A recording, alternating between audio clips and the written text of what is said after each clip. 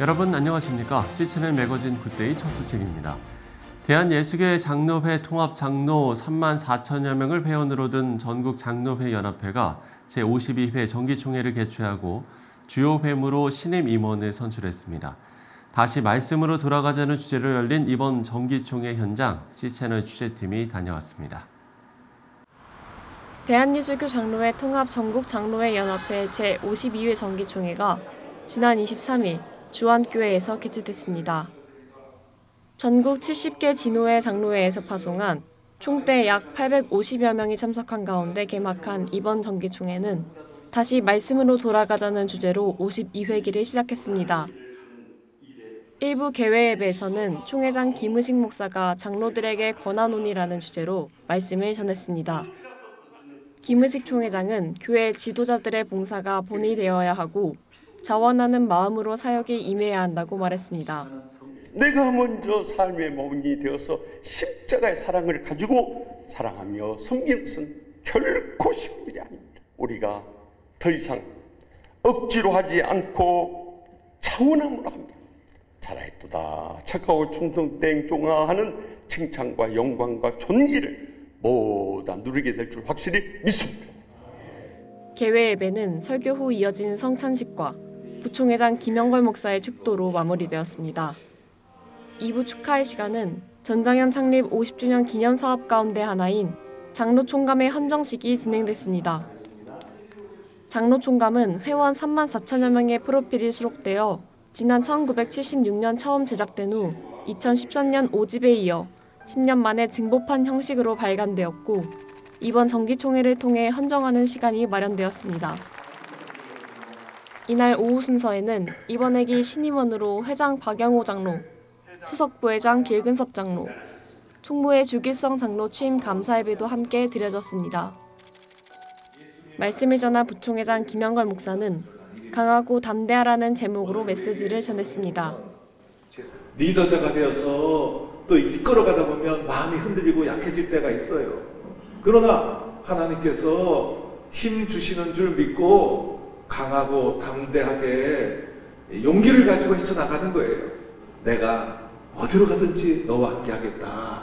라고 약속해 주시는 하나님이시니 우리 박경호 장로님은 하나님이 나와 함께 하신다. 라는 믿음을 가지고 이제 직분을 감당해 나가는 겁니다. C채널 뉴스 김지윤입니다. 광림교회 원로 목사이자 기독교 대한감리회 제21대 감독회장으로 활동했던 고 김선도 목사의 소천 1주기를 기리기 위한 추모 예배가 지난 25일 광림교회에서 열렸습니다. 지난해 향년 93세로 별세한 김선도 목사를 기억하기 위한 이날 추모 예배에는 이영훈 목사, 이철 감독회장, 한기채 목사, 고명진 목사, 오세훈 서울시장 등이 참석했습니다. 추모 예배에 설교를 전한 한교총 대표 회장 이영훈 목사는 김선도 감독은 한국교회 상처 입은 많은 사람들에게 희망과 꿈과 용기를 주었다고 전하며 김선도 감독이 이루신 귀한 업적을 기억해야 한다고 전했습니다. 바라기는 우리 감독님께서 이루신 일들이 우리 삶 가운데 계속 뿌리 내리고 열매 맺어서 온 세상에 충만하여 절망이 가득한 세상에 꿈과 희망을 주고 그 귀한 역사가 우리 삶 가운데 열매기를 간절히 소원합니다. 이날 추모 예배 후 고 김선도 감독의 호를 기리는 장천 기념사업회 출범식이 진행됐고 향후 장학사업, 선교 및 구호사업, 평화통일운동 등을 전개해 나갈 계획이라고 밝혔습니다. 오세훈 서울시장은 사업회 출범 축사를 통해 사업회가 김선도 감독의 삶과 정신을 기리고 그리스도의 사랑을 경험하게 하는 도구로 쓰임 받기를 기도한다고 밝혔습니다. 오늘 발족하는 기념 사업회가 김선도 감독님의 삶을 따르면서 이 땅의 모든 사람이 그리스도의 사랑을 경험하게 하는 귀한 도구로 쓰임 받기를 기도합니다. 한국교회 봉사단이 대림절 기간을 맞아서 지난 20일 우크라이나의 전쟁 종식을 기대하는 마음으로 헤르손 지역 1,100가구 주민과 군 장병들에게 구호 물품을 전달했습니다. 군인들에게 필요한 야전 침낭 300개와 이불 350개, 식료품 구호 박스 250세트를 헤르손 지역 주민들에게 전달했습니다. 한교봉 대표단장 김태형 목사는 우크라이나 의료체계 재건을 위해서 한국형 보건소를 설립할 계획 중에 있다고 밝혔고 27일 바르샤바 현지에서 실무 간담회를 갖고 구체적인 방향성에 대해 논의했다고 밝혔습니다.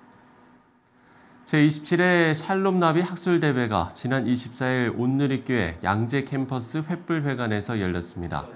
4차 산업혁명 시대 AI와 기독교를 주제로 열린 학술대회는 경건회를 시작으로 샬롬나비 대표 김영환 박사의 기조 강연이 이어졌습니다. 김영환 박사는 인공지능 시대에 대한 대처, 신앙의 역할에 대해 강조했고 이어진 주제 발표에는 안종배 박사, 김기석 박사, 곽혜원 박사가 각각 챗 GPT 인공지능 시대 기독교 미래와 대처 방안에 대해서 발표했습니다.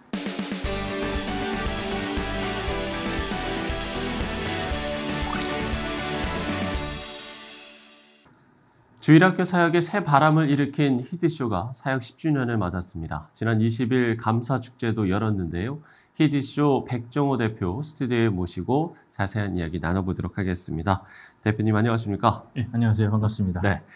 자, 이미 많은 분들이 아시겠지만 그래도 혹시 처음 접하시는 분들이 계실지도 모르니까요. 먼저 히즈쇼 네, 소개부터 아, 해주신다면요. 히즈쇼는 어, 그의 쇼, 하나님의 쇼라는 뜻을 가지고 있는 그 네. 기독교 컨텐츠를 많이는 만드는 기업입니다. 뭐 대표적인 어떤 게 이제 성경 네. 애니메이션을 만드는 음. 곳이고요. 성경 네. 애니메이션을 시작으로 다양한 뭐 찬양 그리고 이제 성경 암송하는 chant 음, 그리고 지금은 교회에 교회 교회 학교에 주일학교 컨텐츠를 공급하는 일을 네. 주로 하고 있습니다. 어린이들에게 복음을 전하는 중요한 콘텐츠를 이제 많이 만드셨는데 주일학교에 뭐 새바람을 일으켰다 이런 평도 좀 듣고 있는 것 같아요. 기본적으로 성경에 이제 재밌는 이야기들이 많이 있잖아요. 예. 그 이야기들을 저희가 이제 뽀로로 같은 애니메이션으로 많이 만들었고 어, 또 그것들을 좀 재미있게 해석해서 뭐 예를 들어서 가장 인기 있었던 콘텐츠 중에 하나는 그 예수님이 이제 시험 당하시는 장면을 네, 그 성경 사탄이랑 대화하는 장면이 있거든요.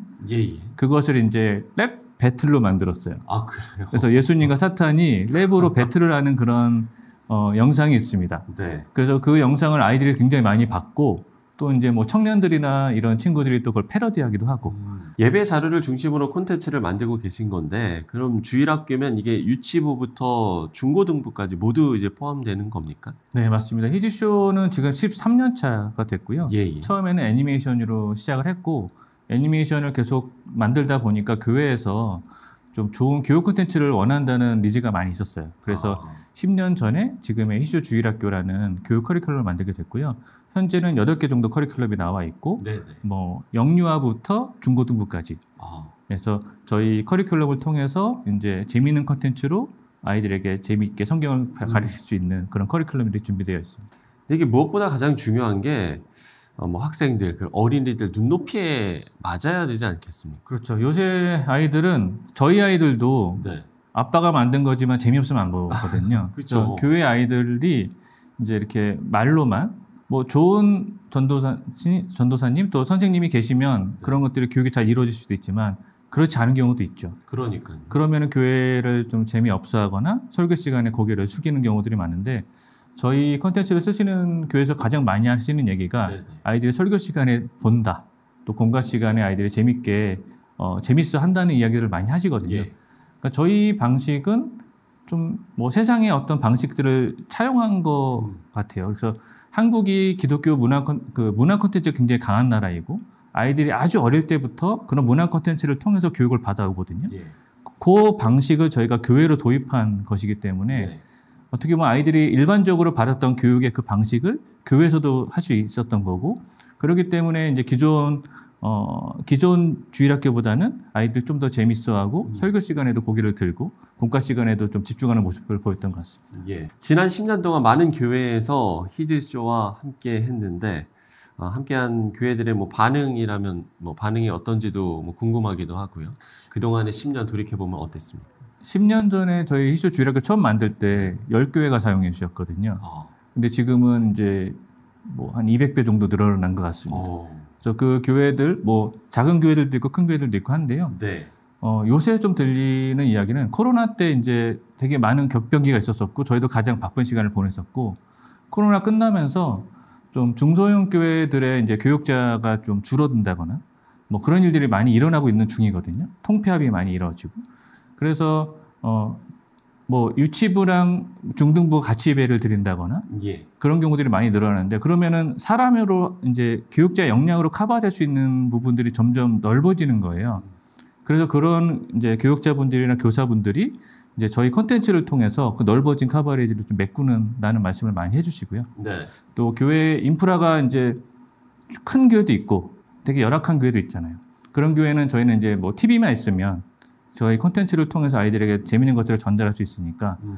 오히려 지금은 좀 중소형 교회에 좀 교- 좋은 도움이 되고 있지 않나 그런 얘기를 많이 듣고 있습니다. 그 어른들이 이제 말씀하시기를 예전에는 이제 교회가 세상의 문화를 먼저 이끌었다 그렇죠. 예. 이렇게 이야기를 했습니다만 요즘은 오히려 교회가 세상 문화를 따라하기 바쁘다 이런 이야기들을 상당히 많이 하시거든요. 이 이야기에 대해서는 어떻게 좀 이야기를 음. 해주시겠습니까? 한국의 특징이기도 한데요. 한국 문화 콘텐츠가 좀 너무 빠르고 세계적인 수준이에요. 특히 아. 이제 어린이 콘텐츠도 굉장히 높은 수준이거든요. 네. 전 세계 5위 안에 들어가는 곳에 우리 아이들이 살고 있기 때문에 상대적으로 세상 문화를 이렇게 앞질러 갔는데 네. 교회 문화는 좀 정체돼 있었던 거죠. 음. 사실은 저희가 그 간극을 메꾸기 위해서 노력을 많이 했고요.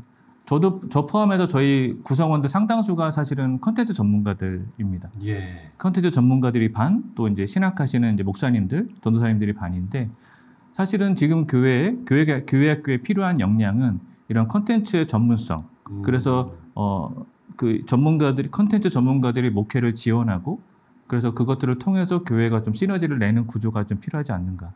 너무 빠르게 변하기 때문에 그렇기 때문에 우려되는 점은 혹시 없습니까? 너무 빠르게 변하니까 이게 좋은 것인지 나쁜 것인지 알 수가 없는 예. 거죠. 시간이 지나야 알 수 있는 것인데 그렇기 때문에 좋은 기독 콘텐츠는 더 필요한 것 같아요. 그러니까. 그런 것들을 그냥 어, 몰라라 하는 게 아니라 어떻게 해서든 교회에서 또 저희 같은 어떤 기관에서 그런 콘텐츠들을 많이 만들고 또 어쨌든 교회가 아이 교회에 아이들이 나와서 한 시간 이상 있잖아요. 예. 그 굉장히 소중한 시간이거든요. 그 시간을 굉장히 알차게 아이들에게 어, 복음을 전달한다면 아이들이 이제 다 그런 게 있습니다. 영적인 것이 있고 그렇기 때문에 그런 것들을 보면은 또 나중에 생각이 나고 음. 또 커서도 그게 복음의 씨앗처럼 씨앗이 심어지는 거기 때문에 어, 지금 우리 그 아이들의 그 어떤 골든 타임을 놓치지 말고 네. 교회에 왔을 때 최대한 어, 압축해서 좋은 콘텐츠를 전달하고 그 아이들이 마음속에 그 복음의 씨앗이 심겨지도록 노력하는 것이 필요한 것 같습니다. 10년을 지내오셨고 이제 또 앞으로의 시간들을 디자인하고 계실 텐데 어떤 계획들이 있는지도 궁금합니다. 사실은 지금 히즈쇼 전에 네. 스토리박스라는 애니메이션을 제가 만들었었고 음. 그때 첫 작품을 만들어서 미국의 NRB라는 전시회에 나갔었어요. 그리고 올해 15년 만에 제가 다시 그 전시회에 나갔었습니다. 음. 그래서 그때 생각이 나더라고요. 제가 이 일을 처음에 왜 했지? 사실은 한국에서 만든 기독교 콘텐츠를 세계에 내보내고 싶은 게 제 꿈이었거든요. 근데 이제 회사를 해야 되니까 먹고 살아야 되고 그런 것들을 하다가 다시 그 꿈을 꾸게 됐고 그리고 또 하나는 지금 저희 히시쇼 콘텐츠가 어, 인도어로 지금 녹음 중입니다. 아. 힌디어로. 그리고 몽골어는 제작이 다 돼서 네. 다음 달에 저희가 몽골에 세미나를 열어요. 그러면 몽골 히시쇼 주일학교 교재가 어, 이제 배포가 되게 되는 어. 일들이 있습니다. 첫 번째는 어, 글로벌 진출, 또 두 번째는 글로벌 선교가 저희 앞으로의 10년의 비전이지 않는가 생각하고 있습니다. 아, 특별히 뭐 인도와 몽골을 선택하신 이유는 있습니까? 저희가 선택한 게 아니라 거기 선교사님들이 이제 아. 그걸 원하셨군요. 그렇죠. 그래서 그분들이 나름 사람도 모으시고 돈도 모으시고 아. 하셔서 저희 쪽 요청해 주셨고 저희는 그 컨텐츠를 어, 한국에서 한국 교회가 사주신 그 컨텐츠를 이제 무상으로 공급하는 일을 음. 예, 하려고 합니다. 예, 그렇군요. 이렇게 앞으로의 계획들도 나눠주셨는데 아, 이런 계획들을 위해서 어, 시청자 여러분들의 기도도 상당히 중요할 것 같습니다. 끝으로 기도 제목을 나눠주시는 것으로 오늘 이야기 마무리 짓도록 할게요. 처음에 그 스토리박스를 만들고 어떤 아이가 그거를 한 100번 봤나 봐요. 아이들은 재밌으면 계속 보거든요. 네, 네. 그래서 꿈에도 그 예수님이 나왔던 거죠. 그래서 그 꿈에 나온 예수님이 할머니를 전도해라. 할머니 교회를 안 다니셨나 봐요. 아, 그래서 그 아이가 다음날 일어나서 할머니에게 복음을 전했고 음, 또 할머니가 교회 가셨다는 그런 간증들을 이런 간증을 되게 많이 들었습니다. 그래서 아이들의 그 순수한 마음 속에 어떤 좋은 복음의 씨앗이 심겨진 컨텐츠가 전달이 된다면 그건 엄청난 영향력을 발휘할 거라고 보거든요. 그 일을 위해서 한국뿐만이 아니라 전 세계 아이들을 위해서 그 일을 지속할 수 있도록 계속 어, 지금처럼 관심 가져주시고 기도해 주시고 함께 해주시면 감사하겠습니다. 예. 문화의 영향력 뭐 정말 중요하지요. 그렇기 때문에 정말 우리가 이런 기도 콘텐츠에 관심을 갖고 기도하는 노력도 상당히 중요할 것 같습니다. 네, 지금까지 히지쇼 백종호 대표와 이야기 나눠봤습니다. 대표님 오늘 말씀 고맙습니다. 네, 감사합니다.